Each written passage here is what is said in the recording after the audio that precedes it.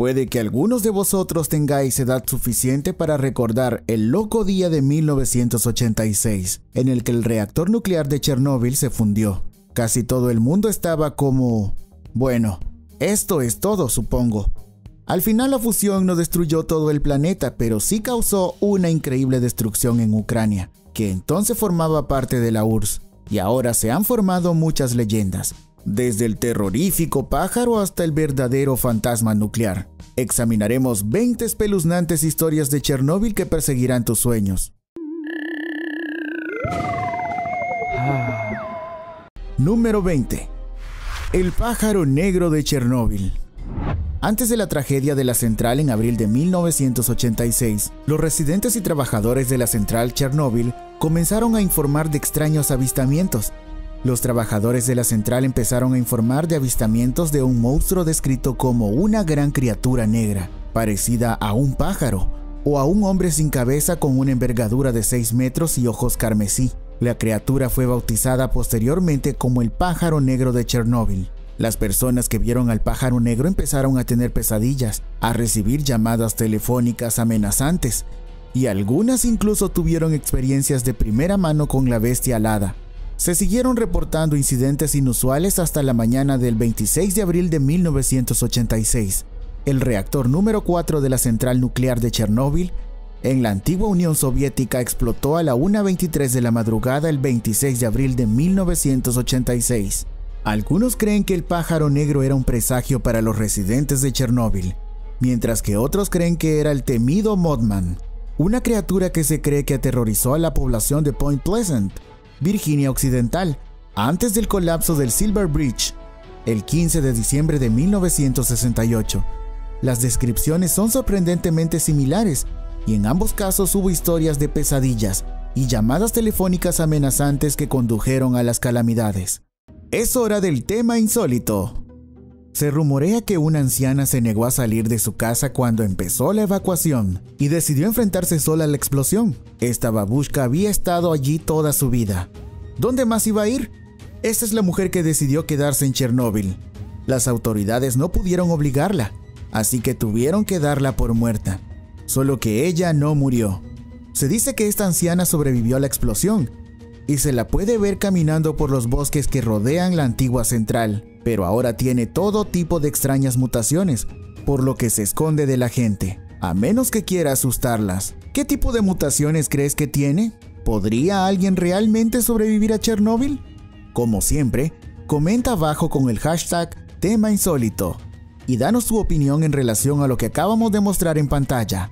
Pasemos a la siguiente. Número 19. El fantasma que grita para ser rescatado. Se dice que la vecina y abandonada ciudad obrera de Chernóbil, Pripyat, está embrujada. Al pasear por el hospital municipal, algunos se han sentido como si fueran observados. A menudo se ven apariciones y sombras. Algunos incluso han afirmado haber sido atacados por los fantasmas. Tras visitar la región en 1997, Andrei Karshukov, un físico nuclear de New York, compartió una de estas experiencias. Karsukov declaró que llegó a la central a las 7.30 de la mañana y se dirigió al reactor número 4 donde se produjo la explosión. No pudo entrar debido a la radiación, pero cuando estaba tomando las lecturas de radiación, escuchó a alguien pidiendo ayuda desde adentro porque había un incendio. Declaró, subí corriendo para alertar a alguien, pero me informaron de que cuando entré a la sala de control del reactor, fui la única persona que abrió esa puerta en tres años y que la única forma de estar en el antiguo reactor es a través de las mismas puertas por las que yo accedí. Si alguien hubiera entrado en el reactor cuando yo no estaba vigilando, habría activado una alerta que suena cuando la puerta del reactor se abre automáticamente. A pesar de que la puerta del reactor requiere una contraseña además de la huella de la mano, alguien o algo estaba dentro.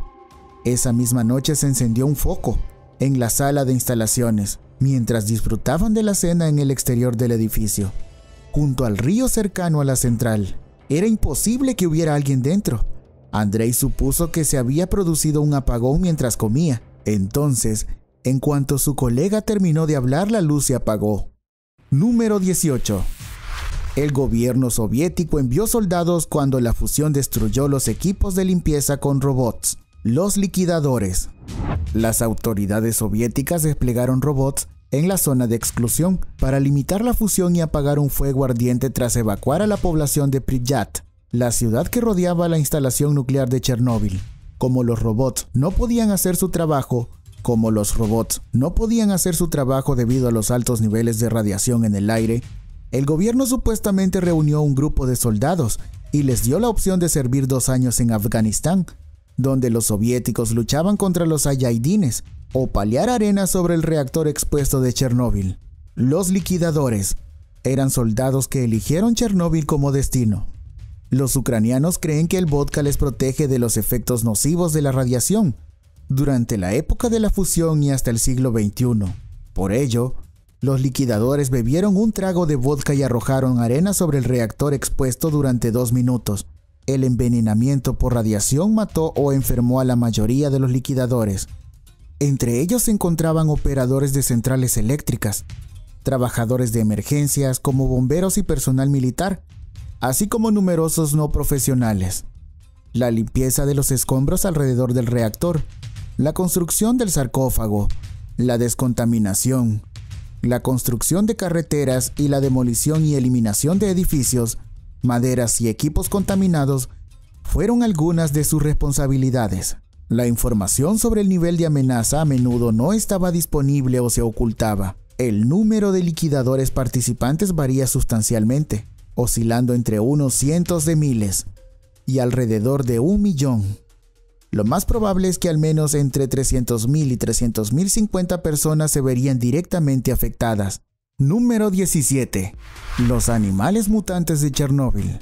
Investigadores de la Universidad de Stirling descubrieron que los animales de los lagos cercanos a la central nuclear de Chernóbil presentaban más cambios genéticos que los de los lagos más alejados, lo que permite conocer los efectos de la radiación en las especies salvajes. Tras la catástrofe de 1986, el estudio del ADN de los crustáceos de agua dulce llamados Dapnia indicó que había más variedad genética en las poblaciones de los lagos que tenían los mayores índices de exposición a la radiación. Según el autor principal del estudio, el Dr. Stuart Ault, la radiación es la principal fuente de estas anomalías genéticas. Chernóbil es un experimento natural de evolución, dijo el Dr. Ault de la Facultad de Ciencias Naturales de la Universidad de Starling, porque la tasa de mutación genética es mayor y todo cambio evolutivo se alimenta de mutaciones. Normalmente hay que esperar generaciones para ver cómo afecta el entorno de las mutaciones, y la mayoría de los animales mutantes quedan muy dañados y no viven mucho tiempo.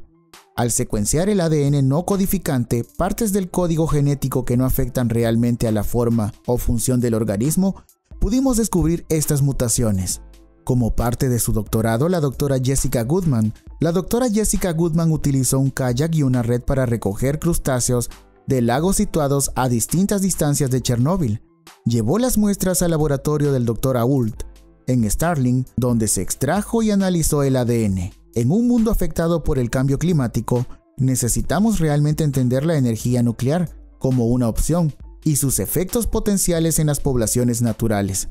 El doctor Ault concluyó, todos sabemos que la exposición aguda a la radiación es mala, pero los niveles bajos de radiación no son tan malos como creemos, y a muchos de los animales de la zona de Chernóbil les ha ido bien después de que la gente se haya ido, y resulta que los humanos son mucho peores que la radiación. Número 16. La pata de elefante. Desde que los reactores nucleares se hicieron realidad en la ciudad de Pripyat, en la actual Ucrania, esta era la catástrofe más temida por el mundo. Los planes para evitar la fusión no estuvieron exentos de problemas. Sin embargo, en un intento de controlar las partículas radiactivas, personal soviético excepcionalmente valiente se dirigió al lugar del desastre. Descubrieron algo extraño bajo el reactor número 4, una masa de 2 metros de ancho de restos altamente radioactivos, arena, vidrio, metal y otros objetos que pesaba más de 100 toneladas debido a su asombrosa densidad estaba tan caliente que ardió hasta el sótano de abajo, destruyendo su propia zona de contención en el proceso. La pata de elefante recibió su nombre por el aspecto arrugado de la masa. En 1986, era tan radiactiva que incluso 5 minutos de exposición provocaban la muerte en 48 horas. A pesar de ello, varios trabajadores soviéticos realmente valientes derribaron la puerta del sótano y entraron para hacer fotos. Incluso ahora, pasar una hora en ese sótano sería arriesgado. Número 15. El abandonado parque de atracciones de Pripyat en Chernóbil. El parque de atracciones de Chernóbil, o Parque de la Cultura y el Descanso como se conocían oficialmente, nunca fue utilizado por los habitantes de la ciudad, ya que debía abrirse el 1 de mayo de 1986, cinco días después del accidente. El parque cuenta con una gigantesca noria, que se ha convertido en una imagen icónica de la desolada ciudad, así como con coches de choque, un paseo en paracaídas, un campo de tiro y otras atracciones. A medida que la hierba y las plantas brotan a través del suelo de hormigón fracturado, estas atracciones están degradando de vuelta a la naturaleza. El parque de atracciones de Pripyat tiene cantidades excesivas de radiación en ciertas zonas. Esto se debe a que el parque se utilizó como pista de aterrizaje para los helicópteros que transportaban tierra radiactiva. Después, la tierra restante fue arrastrada a la tierra. El musgo del parque, al igual que del resto de Pripyat, puede ser altamente radioactivo, así que manténgase alejado de él. Sin embargo, la mayoría de viajes incluyen una visita al parque de atracciones de Pripyat, y no debería pasar nada si sigue las recomendaciones de su guía, y toma medidas como evitar tocar cualquier cosa. En el Palacio de la Cultura había un cine, una gran cancha de baloncesto cubierta y un salón de baile, el interior de la estructura ha sido saqueado y tiene un aspecto posapocalíptico. A través de los cristales rotos y desconchados de la cancha de baloncesto, se puede ver la noria de Pripyat y el resto del parque de atracciones de Chernóbil. Número 14. Un pueblo entero fue arrasado. Solo queda en pie su jardín de infancia, pueblo y jardín de infancia de Kopachi. Cuando se produjo la tragedia de la central nuclear de Chernóbil en 1986, Copachi era una comunidad próspera. La comunidad tuvo que ser evacuada ya que había sido ampliamente envenenada. El asentamiento fue completamente desmantelado y enterrado.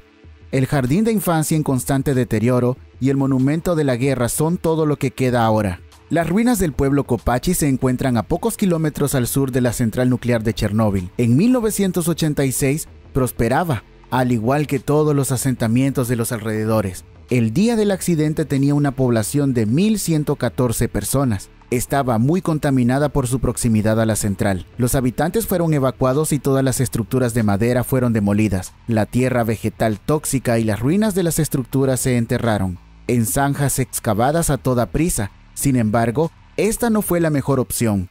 Las toxinas de las estructuras hundidas fueron arrastradas a la capa freática, permitiendo que los isótopos radioactivos penetraran más profundamente en la Tierra. Las autoridades no previeron que estas estructuras y viviendas fuertemente contaminadas filtrarían isótopos radioactivos a las aguas subterráneas, las estructuras enterradas liberaron radiotóxicos al medio ambiente, elementos radioactivos como el plutonio, el estroncio 90 y el cesio 137 siguen presentes en el suelo y el agua que rodean el antiguo asentamiento.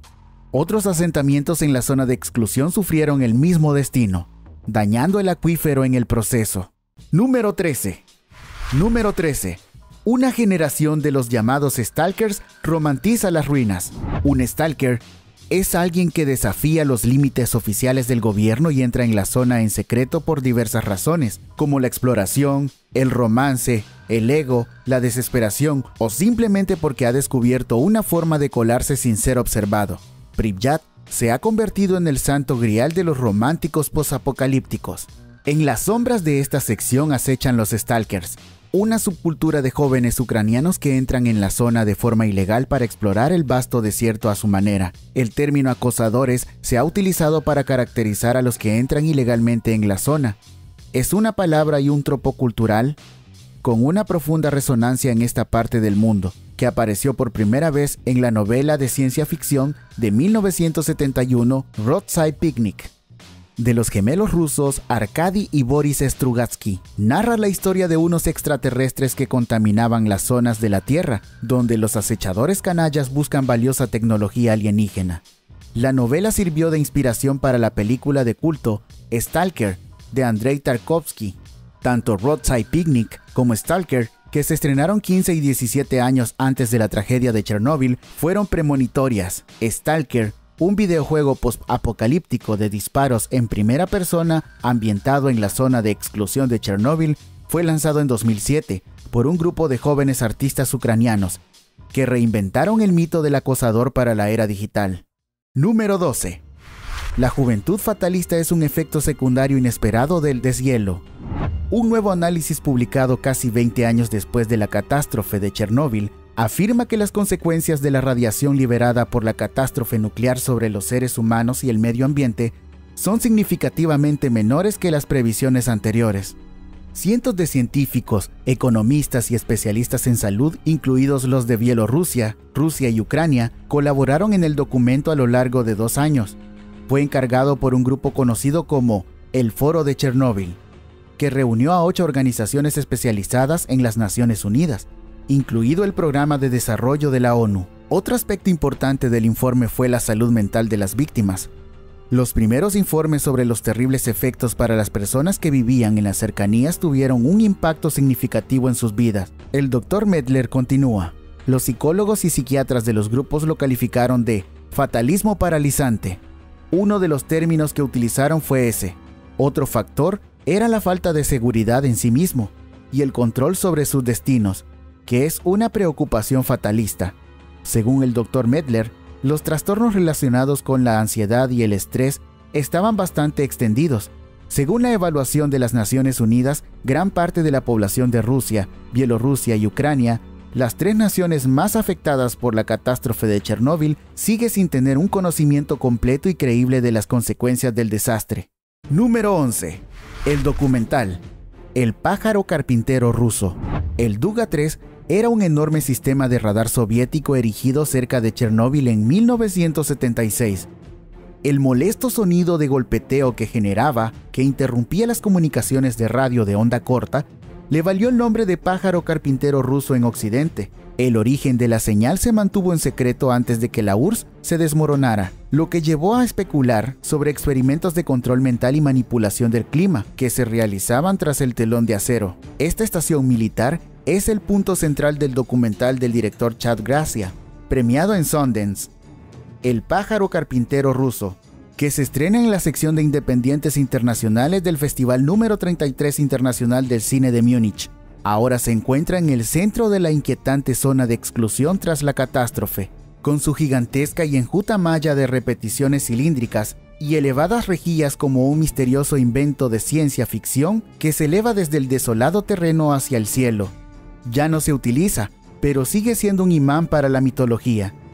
Su inmenso tamaño y su ofuscado propósito son los símbolos ideales de una Rusia teñida, de una atmósfera de fantasía, donde el pasado soviético aún se cierne como un espectro definitorio en toda su escandalosa ambición ilimitada. El video sostiene que la historia de esta extraña construcción está entrelazada con la corrupción y la tiranía del Estado, y expone la idea conspirativa de que la fusión nuclear de Chernóbil se puso en marcha deliberadamente en 1986 para encubrir el mal funcionamiento de la Duga y la culpabilidad de sus responsables. Es una afirmación difícil de creer, sin embargo la película presenta un caso seductor. Que sea cierto o no define un clima ruso de irrealidad basado en silencios y omisiones censuradas, en el que la verdad es a menudo más surrealista que la ficción y resulta casi imposible de penetrar, tras un velo de impunidad y versiones fabricadas. Número 10. Siete supervivientes buscan la inmortalidad. Un científico ruso que sobrevivió al accidente y otros seis científicos rusos se trasladaron a Gabdos, una pequeña isla griega. Se establecieron rápidamente aunque algunas teorías conspirativas afirman que los científicos fueron a la isla parar. Aunque, aunque algunas teorías conspirativas afirman que los científicos fueron a la isla para obtener el control del planeta o descubrir el secreto de la vida eterna. Gavdos tiene una población de unos 50 residentes permanentes, pero es un popular destino turístico en verano. Se supone que la isla es la auténtica Ojigidia, la isla palacio mitológica de Calipso, donde la hechicería mantuvo cautivo a Odiseo durante siete años, según la leyenda. Los científicos trabajan en numerosas ideas desde el interior de un complejo, según un cineasta que está creando un documental sobre la comuna de la inmortalidad de Gavdos, tiene siete acreces de propiedad que les ha cedido un sacerdote, y son amables con los demás habitantes de la isla, a menudo ofreciéndose gratis en diversos proyectos. Algunos creen que los científicos rusos son espías, mientras que otros creen que han conseguido vivir gracias a los poderes curativos de la isla. Los científicos por su parte parecen estar obsesionados con el concepto de inmortalidad y filosofía griega. Incluso están construyendo un templo que será conocido como el Templo de Apolo. Número 9. Una conspiración extraterrestre que gira en torno a Chernóbil. Otra fuente en Estados Unidos dijo que formas de vida extraterrestres inteligentes estaban interesadas en el accidente de Chernóbil. El doctor George King, fundador de la Sociedad Aterius, dijo que sus conexiones extraterrestres a bordo de una nave espacial marciana llamada Satélite número 3 le proporcionaron una advertencia de calamidad que se avecinaba 4 horas y 53 minutos antes de que el reactor Chernóbil entrara en estado crítico. La narración se citaría más tarde como prueba de la afirmación de la sociedad Aterius, de que los maestros cósmicos siempre han considerado la experimentación nuclear como la mayor amenaza para la humanidad, y han dejado claro que intervendrían donde se les permitiera karmáticamente. Mijail Baritsky, dosimetrista senior del Departamento de Control Dosimétrico, declaró que él y varias personas más vieron un ovni sobre el reactor 4 la noche de la tragedia de Chernóbil. En 1992, su testimonio apareció en el libro de B. Tocqueville, UFOs Guess from the Future. Vimos una bola de fuego volando lentamente por el cielo, la bola tenía un diámetro de 6 u 8 metros, creo. Entonces notamos dos haces de luz carmesí que se extendían hacia la cuarta unidad. Estaba a unos 300 metros del reactor cuando se descubrió el objeto. Todo duró unos 3 minutos. Las luces del objeto se apagaron y se alejó en dirección noreste. Número 8. La fotografía de las ruinas de Chernóbil es falsa.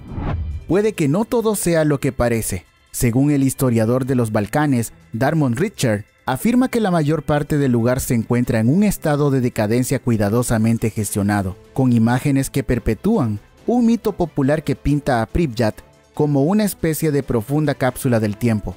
La cantidad de muñecos de juguete esparcidos es ciertamente inusual y las posibilidades de que algo permanezca en el lugar donde fue arrojado el día de la evacuación son bastante remotas. Los visitantes no pasean por una ciudad abandonada, sino por una ciudad abandonada que se mantiene como un parque temático. Las impecables pantallas de televisión, la insondable cantidad de máscaras de gas y los innumerables carteles de propaganda aparecen como oportunidades fotográficas improbables. Como señala Richard, los visitantes, como es lógico, se esfuerzan por evitar fotografiar a otros turistas, a menos que posen para hacerse selfies, por supuesto.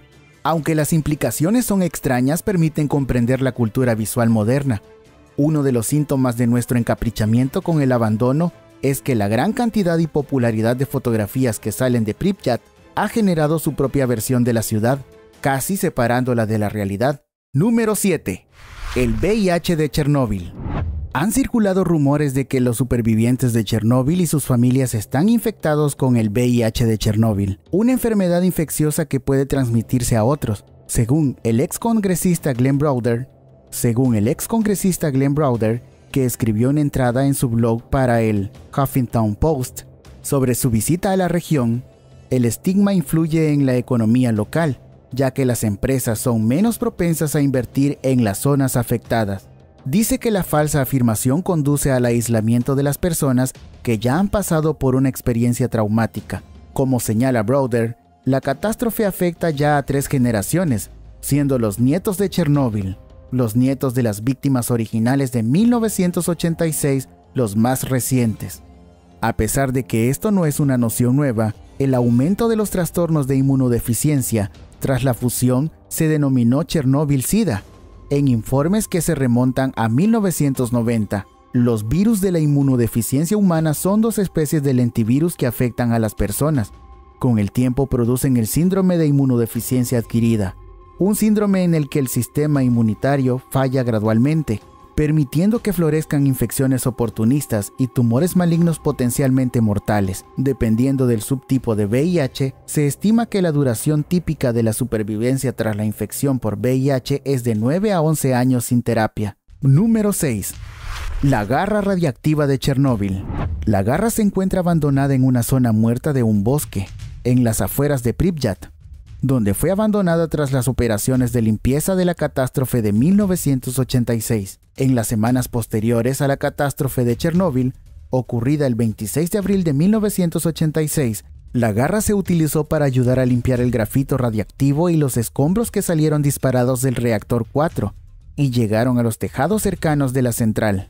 Cuando la garra dejó de ser útil, se retiró de la grúa y se arrojó en lo profundo de un bosque, donde se esperaba que nadie la encontrara. Ahora sirve de escalofriante recordatorio del desastre ocurrido hace 35 años. Por desgracia, la garra ha sido objeto de vandalismo en dos ocasiones. En noviembre de este año, un grupo de vándalos pintó la garra de color rosa. Solo unos pocos vándalos optaron por repintarla, y rápidamente recuperó su tono natural amarillo dorado. Los mismos delincuentes pintaron rápidamente rayas blancas en la garra. Número 5. Vasily Ignatenko, uno de los bomberos de Chernóbil. Vasily Ignatenko fue uno de los primeros socorristas de Chernóbil. Tenía 25 años cuando él y sus compañeros de los bomberos de Chernóbil lucharon contra las llamas.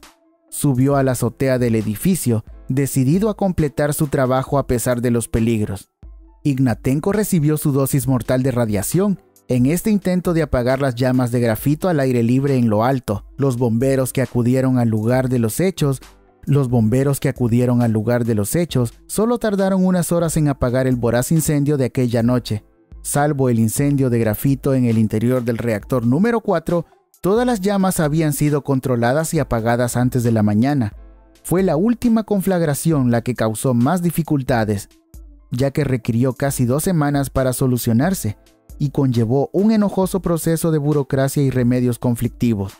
Ignatenko recibió una fuerte dosis de radiación como resultado del procedimiento y murió 18 días después en un hospital radiológico de Moscú. Vasily Ignatenko recibió a título póstumo la Orden Soviética de la Bandera Roja en 1986. En 2006 se le concedió a título póstumo el título de Héroe de Ucrania, la más alta distinción nacional del país, así como la Orden de Valor de Ucrania. Se han construido varios monumentos en su honor, sobre todo en Beresino y en su ciudad natal, Brahim, donde también hay un museo dedicado a él. En Minsky y Beresino hay calles que llevan su nombre. Número 4. Se calcula que hubo entre 100.000 y 200.000 abortos en Europa después de Chernóbil, como consecuencia de la radiofobia. Según la Organización Mundial de la Salud, aunque los estudios a largo plazo sugieren que los bebés expuestos a Chernóbil en el vientre materno tienen un mayor riesgo de desarrollar cáncer de tiroides en la edad adulta, no hay pruebas sustanciales de que los defectos de nacimiento fueran significativamente más frecuentes en los bebés de las mujeres que estuvieron cerca de la catástrofe en comparación con las que no lo estuvieron. En febrero de 1987, Robert Gale, un médico de la UCLA que supervisó las operaciones médicas y de rescate del accidente, declaró al New York Times, ahora hemos tenido la oportunidad de observar a todos los niños que han nacido cerca de Chernóbil como es lógico, ninguno de ellos presenta anomalías detectables al nacer. No habíamos previsto ninguna. Es una muestra de que las malas noticias son mejores que las buenas. A pesar de ello, la desinformación y la radiofobia se extendieron rápidamente en las semanas y meses siguientes al accidente, como se representa en la miniserie. Muchas personas, incluidos los médicos, creyeron que no podían confiar en que las autoridades les dijeran la verdad sobre el alcance de la contaminación. Como resultado, decenas de miles de mujeres abortaron, algunas por recomendación de sus médicos y otras contra su voluntad. Por supuesto, algunas mujeres pueden haber decidido interrumpir sus embarazos por razones distintas a la radiofobia o el temor a las anomalías fetales. La miniserie de HBO sobre Chernóbil está llena de este profundo sentimiento de pérdida, que se introdujo en la vida de las personas tan silenciosamente como las partículas radiactivas se introdujeron en sus cuerpos. Es posible que muchas familias no estuvieran preparadas mentalmente para seguir adelante con los embarazos a pesar de la posibilidad de que se produjeran anomalías en los nacimientos. Número 3. La zona que rodea a Chernóbil se conoció como el Bosque Rojo por todos los árboles muertos. Como consecuencia de la catástrofe de abril de 1986, la vegetación que crecía alrededor de la central nuclear de Chernóbil quedó gravemente calcinada Los árboles fueron irradiados hasta el punto de quemarse internamente y volverse de color escarlata. La parte del bosque rojo de la zona de exclusión sigue siendo hoy la más peligrosa y radiactiva. El viento se desplazó hacia el norte después del accidente y luego hacia el oeste. Como resultado, los daños se concentraron en los lugares más cercanos a estas dos direcciones. El bosque compuesto en su mayor parte por pinos resultó gravemente dañado por la radiación. Si un ser humano hubiera estado allí en el momento de la explosión, habría desaparecido en segundos. Además, los árboles brillantes de Chernóbil no son un mito ni un cuento de miedo de mutantes y zombies. El contacto de las partículas y la descomposición radiactiva con las enzimas de los árboles crearon luz. Fue visible por la noche durante el primer mes después del accidente. Las partículas pueden ser absorbidas con éxito por los pinos. Por un lado, esto los convierte en grandes filtros, pero si se queman, todo se libera al medio ambiente. Los liquidadores talaron los árboles y los enterraron bajo la tierra, en la misma zona, antes de que los quemara un incendio forestal, que se producen regularmente en la zona. Número 2. A los residentes no se les permitió llevar a sus mascotas durante la evacuación de 1986. Hay relatos perturbadores de perros aullando y corriendo detrás de los autobuses durante mucho tiempo. En cierto modo, todos los perros son supervivientes de la tragedia de la central nuclear de Chernóbil en 1986. Cuando explotó el reactor número 4 tras la explosión, miles de personas fueron evacuadas de la ciudad ucraniana de Pripyat. Se les indicó que abandonaran a sus mascotas. Para evitar la propagación de la infección, los soldados soviéticos sacrificaron a varios de los animales abandonados. Sin embargo, algunos de los animales se escondieron y vivieron. Cientos de caninos vagabundos deambulan ahora por los 2.600 kilómetros de la zona de exclusión establecida para limitar los viajes humanos, dentro y fuera de la región. 35 años después, nadie sabe qué caninos son descendientes directos de las mascotas varadas y cuáles pueden haber entrado en la zona desde otro lugar. Sin embargo, ahora todos son perros de la zona. Número 1. Misteriosas muñecas que han aparecido ordenadas en camas en Chernóbil. Desde que la comunidad fue rápidamente evacuada en 1986, las escuelas y los hospitales parecen haber permanecido ilesos. Cientos de máscaras de gas desechadas ensucian el suelo del comedor escolar, decía poéticamente un artículo del Telegraph de 2011. La propaganda soviética sigue colgada en las paredes de las aulas y las muñecas de los niños están desperdigadas por ahí, dejadas donde sus jóvenes propietarios las dejaron caer a toda prisa hace un cuarto de siglo. Sin embargo, no todo es lo que parece. Muchas de las muñecas están elegantemente colocadas sobre las camas, con almohadas para sostener sus polvorientas cabezas, o yuxtapuestas con máscaras de gas en lugar de estar esparcidas donde las tiraron. Los visitantes han dejado estos horribles retratos como recuerdo de los niños que antes vivían aquí, o más probablemente para hacer un post de Instagram más dramático. ¿Participarías en un oscuro turismo a Chernóbil? ¿Debemos seguir utilizando la energía nuclear o es hora de probar otra cosa? Haznoslo saber en los comentarios de abajo. Además, echa un vistazo a otras cosas interesantes que aparecen en pantalla. Hasta la próxima.